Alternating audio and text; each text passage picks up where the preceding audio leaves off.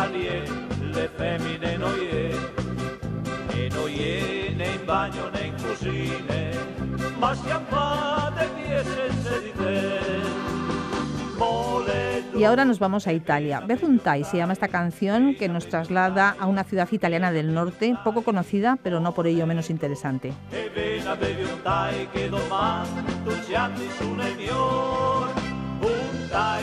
Este programa forma parte de una serie de espacios que coordina el profesor de Filología Italiana de la UNED, Salvatore Bartolotta. San Daniele del Friuli es la ciudad que vamos a descubrir hoy con la ayuda de las profesoras de Filología Italiana de la UNED, Angélica Giordano y Ana María Moreno.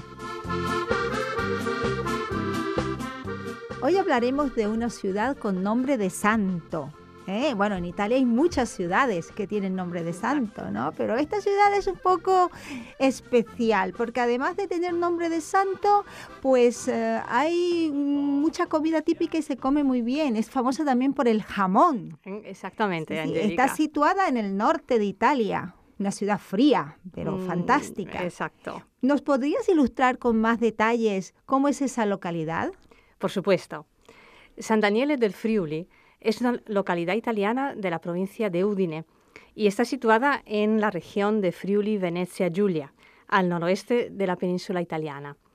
Es una región que limita al oeste con el Véneto, al norte con Austria, al este con Eslovenia y al sur con el mar Adriático. Goza, por lo tanto, de una situación geográfica privilegiada, pues es una salida natural al mar de muchos otros países del centro de Europa, por lo que ha sido, a lo largo de toda su historia, una importante ruta de paso y de transporte. La mayor parte de la región formó parte de Yugoslavia hasta 1954 y la capital, Trieste, fue durante 500 años puerto del Imperio Austrohúngaro. Se trata de una región autónoma, con un estatuto especial, eh, lo que le confiere, junto con las demás regiones italianas que gozan del mismo tratamiento, como sabrás, eh, Sicilia, Cerdeña, Valle de Aosta y el Trentino, eh, le confiere, como te decía, cierta autonomía a nivel político, administrativo y fiscal. El Friuli es una región próspera, variada en cuanto a paisajes, clima y recursos económicos, pues podemos encontrarnos desde el clima mediterráneo en el sur hasta el continental alpino en el norte. Geológicamente, el territorio se divide entre un 40% de superficie montañosa, otro tanto de llanura y un 20% de suaves colinas. San Daniele del Friuli se encuentra en el centro de la región, en la provincia de Udine, como decía al principio, y desde su originario centro histórico, situado en una colina a 252 metros sobre el nivel del mar, su superficie de casi 35 kilómetros cuadrados se ha extendido por las faldas de la colina hasta llegar a la misma llanura que la rodea. A pocos kilómetros de distancia se llega tanto al mar Adriático como a los Alpes, por lo que goza de una maravillosa ubicación. San Daniele cuenta con algo más de 8.000 habitantes y es una localidad acogedora, que ofrece al visitante no solo la belleza natural de su paisaje y algunos tesoros artísticos de los que más tarde hablaremos, sino sobre todo su conocido prosciutto DOP, un producto único elaborado exclusivamente en esta comarca, y que posee un sabor y una textura irrepetibles, gracias en buena parte a las condiciones medioambientales de la zona. Fantástico, maravilloso el prosciutto. Bueno, todo, todo el jamón, prosciutto, jamón italiano, eh, sobre todo el, crudo, el jamón crudo, ¿no? Llamado así, prosciutto crudo, tiene un sabor fantástico, envidiable. ¿No? Bueno, en España tenemos también buen jamón, pero sí, no, cómo no. no como el de San Daniele. No, invitamos un poco a todos nuestros radioyentes, ¿no? Sí. Que preparen sus maletas y se vayan por allí. Esperemos a, que sí. A saborear ese buen jamón. Bueno, después de conocer toda la ubicación y el entorno geográfico y natural de esta bonita ciudad italiana, pues creo que a mí y a todos nos gustaría un poco eh, adentrarnos más en su cultura y su historia. ¿Qué nos puedes contar de la historia de esta hermosa ciudad? por supuesto. El centro histórico de la localidad se halla en lo alto de la colina y gira en torno a la plaza principal, llamada de Vittorio Emanuele II, donde surge el Duomo, dedicado al Arcángel San Miguel, obra de Domenico Rossi entre el 1707 y el 1725, con el campanario sin finalizar, cuya construcción comenzó en 1531 a partir de los planos de Giovanni da Udine. A la derecha se encuentra el antiguo Palazzo Comunale, que aloja el archivo municipal con documentos que se remontan al siglo XII, y la destacada Biblioteca Guarneriana. Su construcción se inició en el año 1415 y se prolongó a lo largo del siglo XVI, hasta que en el XVIII se convirtió en la sede de la biblioteca. La biblioteca nació a partir de la donación de Guarniero di Arteña, un humanista que aprovechó el férvido clima cultural que Sant'Aniele vivió en el siglo XV. Destaca en su interior la sala denominada Fontaniniana, con estanterías de madera del año 1742. La colección se enriqueció con la donación del arzobispo Giusto Fontanini y en la actualidad cuenta con numerosos incunables y códigos miniados, como por ejemplo la Biblia bizantina de finales del siglo XII, una Divina Commedia de fines del XIV, un Missale Romanorum del XV, así como una edición de los Trionfi di Petrarca del XVI. Subiendo por la vía Sebastiano, se llega hasta la explanada del antiguo castillo, saqueado e incendiado por los campesinos en 1511 y dañado posteriormente por un terremoto, y del cual se conserva una torre. Desde ella se puede admirar una maravillosa vista de la llanura friulana y de los Alpes. Otro monumento digno de interés para los visitantes que se acerquen a San Daniele es el Portone di Tramontana, llamado también Portonat, que se construyó con el fin de sustituir el antiguo torreón asolado por el terremoto del año 1511 y de cuyo proyecto se encargó Andrea Palladio, destacado arquitecto véneto del siglo XVI que diseñó importantes edificaciones en toda la región y del que destacan especialmente sus famosas ville o mansiones. Bueno, pues no nos sorprende que en cada ciudad italiana encontremos todas estas maravillas artísticas y arquitectónicas no por nada, Italia tiene, alberga el 70% de los bienes culturales de la humanidad. Bueno, pues mm, todo lo que nos has dicho es bastante interesante y precioso. Pero de todos estos monumentos que acabas de mencionar, ¿hay alguno que destaque, que atraiga de manera especial? Sí, por supuesto. Sin restar importancia a estas construcciones, Hemos de apuntar que el monumento más destacado de San Daniele del Friuli es la iglesia de Sant'Antonio Abate, conocida como la iglesia del peregrino, consagrada en el año 1308. Llegados a este punto, es necesario mencionar que San Daniele ha sufrido a lo largo de su historia varios terremotos, al estar situada en una zona de elevado nivel sísmico. Por ejemplo, el más reciente fue el que asoló la zona en 1976, y provocó el derrumbamiento de iglesias y palacios de la época medieval, así como otros edificios del centro histórico, lo que causó numerosas víctimas mortales. Pero volvamos a la iglesia de Sant'Antonio Abate. En 1348, la localidad sufrió, como decía, uno de ellos, y la consecuencia para la iglesia de Sant'Antonio fueron graves daños que afectaron a su estructura. En los trabajos de recuperación fue ampliada con un coro y una sacristía nueva, y posteriormente, en el año 1470, la vieja fachada fue sustituida por otra nueva, en piedra de Istria, en estilo tardogótico veneciano. Gracias a la armonía de su arquitectura y a las pinturas que decoran sus paredes, ha sido calificada como la Piccola Sistina del Friuli. En ellas se pueden admirar, en efecto, unos bellísimos frescos de la época del Renacimiento, obras de Martino da Udine, llamado el Pellegrino da San Daniele, y que vivió entre 1467 y 1547. Se conservan en muy buen estado, a pesar de que han debido ser, en parte, restaurados, y su visita es recomendable a todos los visitantes que pasen por la ciudad.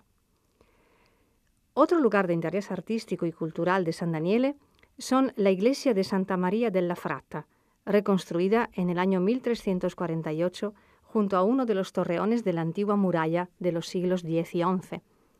Su fachada fue finalizada en el año 1468 y ocho años más tarde se ultimó el pórtico, decorado con bellos motivos ornamentales. No quisiera finalizar esta breve exposición de los lugares destacados de San Daniele del Friuli sin mencionar la Casa del Trecento, situada enfrente del campanario del Duomo, en Vía Roma. Se trata de un edificio simbólico de la localidad, pues tras haber sobrevivido a los bombardeos aliados de 1944 y 1945 durante la Segunda Guerra Mundial, resistió en pie el terremoto del 76, que arrasó al suelo, como te decía, otros edificios antiguos. Después de su restauración, el edificio es sede local de la Asociación Nacional de los Alpinos. Bueno, eh, es una pena porque la verdad es que los terremotos han destruido muchos monumentos preciosos de Italia. Es cierto, es cierto. Mm, mucho más en el sur, que son más frecuentes. Bueno, pero por ejemplo en el norte, este yo no lo conocía. Sí, sí, pues fue. Es realmente, realmente una pena. Yo ya estoy bastante motivada. Conozco San Daniele del Friuli, pero no así a fondo. La verdad es que ahora me tengo que... Tendrás que volver. Sí, sí, sí, seguramente me tengo que organizar y, volver. Volver a ir a, visitar estos monumentos detenidamente, porque creo que merece la pena. Merecen la pena. Sí, seguramente. Bueno, pues después de conocer tanto la historia como el patrimonio cultural de esta singular localidad del noreste de Italia, Ahora nos podrías indicar qué itinerario turístico ofrece a, los, a sus Claro. San Daniele es una localidad con una variada actividad cultural que se manifiesta en las distintas iniciativas que el ayuntamiento promueve tanto para los ciudadanos como para los visitantes que acuden en las fechas ya señaladas de sus eventos y celebraciones anuales. El último fin de semana de agosto, por ejemplo, se celebran las fiestas patronales dedicadas a San Daniele Profeta, con la reconstrucción del antiguo palio, que consistía en una competición de tiro de ballesta entre los distintos barrios de la ciudad en época medieval. Asimismo, en agosto es la cita del International Piano Meeting, con seminarios, charlas y conciertos que se celebran en varias de las iglesias de la localidad. El segundo domingo de septiembre se festeja la fiesta más antigua de la ciudad, de la que este año será la edición número 380, el palio de la Madonna di Strada, una fiesta popular en la Plaza 4 Noviembre, con juegos de competición entre barrios y representaciones teatrales. Bueno, los palios, los palios son muy frecuentes en, en toda Italia, es cierto. en todo el territorio. No sé si en España se celebran. No lo sé. Eh, celebraciones medievales sí existen, pero no sé si exactamente bajo la forma del palio. Del palio, mm, mm. que es una verdadera representación, es un viaje mm. a, la Edad Media. Sin duda. La reconstrucción de todos estos juegos y estas luchas. Es realmente interesante, muy bonito. Bueno, pues ya que nos has hablado de la geografía, de la historia y la cultura un poco, eh, como dije anteriormente, es una ciudad conocida por su comida, por su jamón, por el prosciutto, en toda Italia, ¿no? Por la excelente elaboración de los jamones que tiene. ¡Qué maravilla! De verdad, una ciudad del jamón. Eso es. Hay que ver que en Italia mm, hay cosas y lugares que no dejan de sorprendernos. A este punto, los radioyentes estarán esperando impacientemente que nos cuentes más detalles. Sí, efectivamente. Hay que destacar la fiesta popular de mayor relevancia en San Daniele y por la que es conocida en toda Italia y en buena parte de los países europeos cercanos. Es la llamada Aria di Festa, más conocida como la Festa del Prosciutto, dedicada al delicioso manjar producido y elaborado en esta comarca. Durante el último fin de semana de junio, la ciudad de San Daniele abre literalmente sus puertas a los miles de visitantes procedentes de toda Italia y de países como Austria, Eslovenia e incluso Alemania y Suiza, para dar a conocer este producto con denominación de origen, apreciado por su delicado sabor y degustado no solo crudo, acompañado de un grisino y un vaso de vino de la región, por ejemplo, el Tokai friulano, el Malvasia, el Pino Bianco o Sauvignon, sino que también es protagonista de algunas recetas de platos típicos de la región, ¿eh? como l'involtino di prosciutto di San Daniele e mele Granny Smith, eh, sería una especie de canelón relleno de jamón y manzanas, il tartar di prosciutto di San Daniele e radicchio di Treviso marinato, mm, un tartar de jamón y achicoria marinada. Qué rico. Buenísimo. Gli gnocchi di patate con prosciutto e zucchine, eh, gnocchi de patata con jamón y calabacín. Y ya los más comunes, spaghetti al prosciutto crudo o el risotto al prosciutto. Y como no, la pizza San Daniele, con lonchas de jamón crudo sobre la pizza. ¿Cuánto dura este, esta área de festa? Eh, son tres días. Tres días a finales de junio. Tres días intensos. Muy intensos. Claro. Donde la gente se puede hartar de comer de todo, ¿no? Exacto. Todas las combinaciones posibles con prosciutto. Exactamente, eso es. La verdad es que es muy interesante porque es un tipo de turismo diferente. Sí, un turismo gastronómico que ya en los últimos años se ha extendido por otras zonas de Italia, pero que en San Daniele se lleva realizando muchísimos años. Yo recuerdo cuando estuve allí en San Daniele, recuerdo sobre todo una gran variedad de pastas. Exacto. Sí, sí. con, sea con, con setas, con fungi, que con prosciutto. Ajá, y la verdad es que es un recuerdo que no olvido, siempre está presente en mi mente. Bien, pues tienes que volver. Sí, tengo que volver, definitivamente. Bueno, después de deleitarnos con estas exquisiteces, ¿nos podrías decir qué características hacen que este jamón sea tan especial y en qué se diferencia de otros? Claro. Hay que precisar que en Italia hay otra ciudad con la misma tradición y que incluso es más conocida. Se trata de la ciudad de Parma y su famoso prosciutto di Parma. Ambos son dos productos excelentes y destacan sobre los demás gracias a las peculiares condiciones ambientales de su elaboración y a los rigurosos criterios con los que son seleccionados por sus respectivos consorcios para obtener la marca DOP, que sería la Denominazione di Origine Protetta. Ambos se someten a procesos similares de curación, pues las piezas almacenadas en las fábricas, que se llaman prosciutifici, están dotadas con ventanales por las que regularmente reciben tanto el aire procedente del mar, el de San Daniele, en el caso del San Daniele, el del mar Adriático y en el de Parma del mar Tirreno, como el de la montaña, los Alpes en el primero y los Apeninos en el segundo. No varían excesivamente los criterios de selección de las piezas, por ejemplo, el prosciutto di San Daniele se elabora con piernas de al menos 11 kilos, algo mayores que el de Parma, lo cual explica que presente mayor cantidad de grasa, y se someten a un tiempo de curación similar, algo menor para el San Daniele gracias a la menor cantidad de humedad en el aire. Sí se diferencian, en cambio, en el proceso de salado.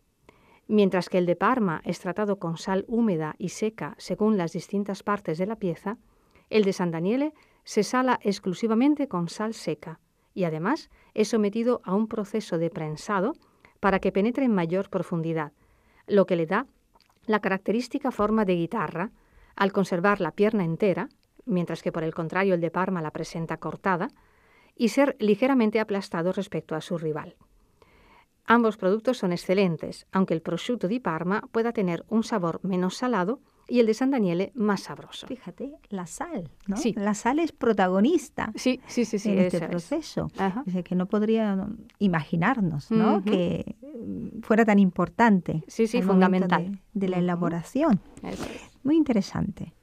Me imagino que como todas las ferias gastronómicas, en las de San Daniele se pueden degustar este producto en todas sus formas de preparación. ¿Nos puedes hablar de una de ellas específica? Bueno, durante los días en los que tiene lugar el área de festa, los distintos locales de la ciudad, en especial los bares, restaurantes y trattorie del centro, abren sus puertas y sacan al exterior sus mesas para que los lugareños y turistas puedan degustar en compañía de una buena porción de prosciutto acompañado de un vaso de vino, preferiblemente blanco, dicen los expertos.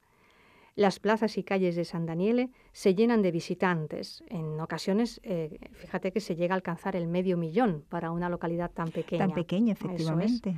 Y se organizan conciertos, exposiciones y otros eventos culturales y gastronómicos. Además, se ofrecen visitas guiadas a los prosciutifici, que ofrecen a los visitantes degustaciones de este magnífico manjar. Hay muchos prosciutifici. Sí, sí, sí, sí. Hay, hay varios repartidos por toda la zona, en los alrededores de la localidad, y se pueden visitar en estos días. Hay visitas guiadas que te llevan dentro y puedes ver eh, cómo se elabora el prosciutto. Interesante. Supongo que mm, irá gente continuamente de, otros pueblos. Continuamente, continuamente. de todo el Friuli, Venecia, Giulia. Exactamente, y, como te decía, de todo el norte, ¿no? del norte, incluso de Austria, de Eslovenia. Eh, hay mm, autobuses que pasan constantemente llenos, llenos de, visitantes eh, y que son gratuitos, que te llevan hacia el centro y, está, se llena, se llena la, localidad. Porque además es una cultura que está muy cerca y muy en contacto con la cultura del este de Europa. Sí, eso por, es. por eh. ser, digamos, lugar limítrofe con exactamente. Esa, esa, influencia se nota y se percibe en, en, las construcciones también de los edificios más modernos e incluso mm, yo creo que también en la manera de ser. ¿eh? Seguramente, y en la música. Y en la música y en la lengua. Ah, claro, sí. Mm. Eh, hay influjos. Exactamente, en la sí. Lengua, sí, en el sí, Exactamente, ahora hablaremos de ello, si te parece bien. Sí, sí. Porque tras saborear las variadas fragancias de esta delicia gastronómica, nos quedamos con ganas de conocer otros aspectos de la sociedad friuliana. Entonces, la lengua, por ejemplo. ¿Existe un dialecto lengua oficial en esa región? Es de todos conocido que en Italia conviven numerosas lenguas y dialectos, pero las políticas lingüísticas son diferentes, ¿cierto? Sí, es necesario mencionar que la región del Friuli conserva el uso del friulano, hablado por un número alrededor de 500.000 hablantes. Se trata de una variante del grupo lingüístico ladino y ha sido incluido dentro de las lenguas históricas minoritarias. Por ejemplificar algunas de sus características morfológicas, podemos mencionar la conservación de la S final como morfema de plural y de los grupos consonánticos PL y BL. En friulano, por ejemplo, el saludo corriente entre amigos y vecinos es mandi. Y un ejemplo de léxico es el término frut, que significa bambino, es decir, niño. ¿no? Eh, frut, la fruta, ¿no? E, el fruto. ¿eh? Exactamente. exactamente. El problema lingüístico en Italia, María, eh, ¿Lo podemos comparar con el español o es muy diferente? Es, muy diferente, ¿eh? por las razones históricas y por toda la evolución eh, histórica sobre todo eh, y social de Italia con respecto a España es muy diferente. Pero yo creo que esto merecería un capítulo aparte. Seguramente. porque de hecho, en Italia no se habla de lenguas, sino de dialectos. Exactamente, exacto. Bueno, pues así terminamos, ¿no? este, este primer itinerario por las ciudades italianas menos conocidas. Bueno, y invitamos a todos los radioyentes a seguirnos, ¿no? Y a conocerlas poco a poco todas. Muchas gracias, María. De nada, a ti. Arrivederci. Arrivederci.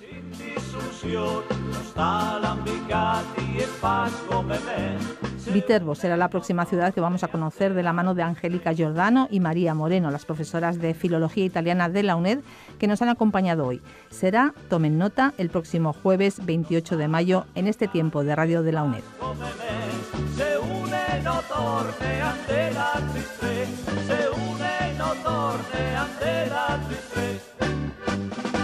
Sin distancias.